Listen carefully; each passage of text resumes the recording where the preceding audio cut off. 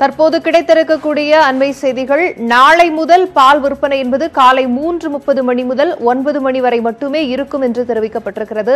கூடுதல் விவரங்களுடன் செய்தியாளர் பாண்டிராஜ் இணைகிறார். பாண்டிராஜ் நீங்கள் தொடரலாம்.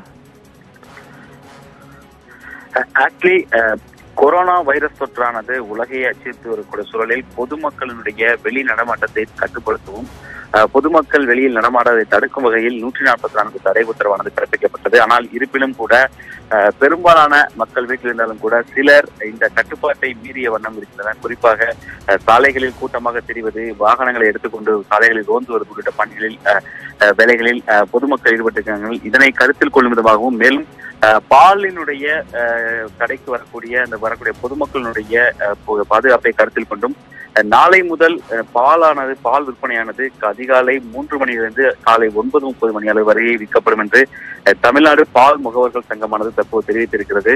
இதன் மூலமாக அஹ், பால் மற்றும் விற்பனையில் வரக்கூடிய கூட்டத்தை கட்டுப்படுத்தும் விதமாகவும் அதே சமயத்தில் பொதுமக்களினுடைய இந்த பாதுகாப்பை உறுதி செய்யும் விதமாகவும் இந்த ஏற்பாடு செய்யப்பட்டுள்ளதாகவும் தமிழ்நாடு பால் முகவர் சங்கமாக தெரிவித்திருக்கிறது.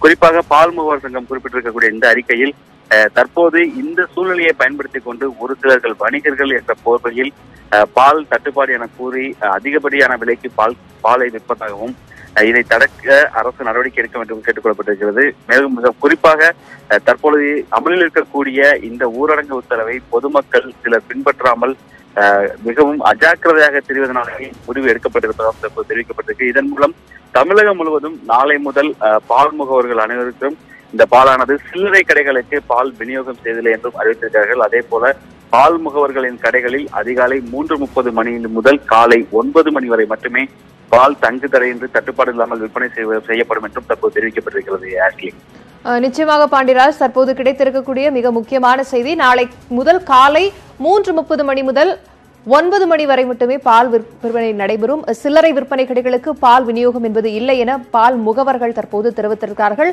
ஆனால் அனைத்து மக்களுக்கும் அத்தியாவசிய பொருட்கள் கிடைப்பதற்கான வழிவகைகளை இந்த நிர்வாகம் சங்கம் செய்திருக்கிறது என்ற உறுதியும் ஏற்றிருக்கிறார்கள். அது தொடர்பான விரிவான செய்திகளை செய்தியாளர் பாண்டிராஜ் தர கேட்டோம். திருச்சி மாவட்டம் உறையூரில் நடைபெற்ற எளிமையான திருமணத்தில் வரும் பதினைந்து பேர் மட்டுமே